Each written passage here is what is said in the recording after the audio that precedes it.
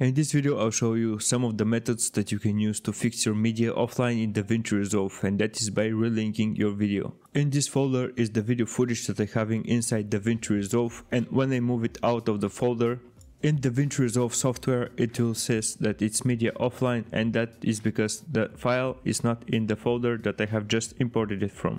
And once I put the file back into the folder it's not gonna have any problems because it's in the original place. So if you don't know where your new file is located, this video is gonna solve that problem for you.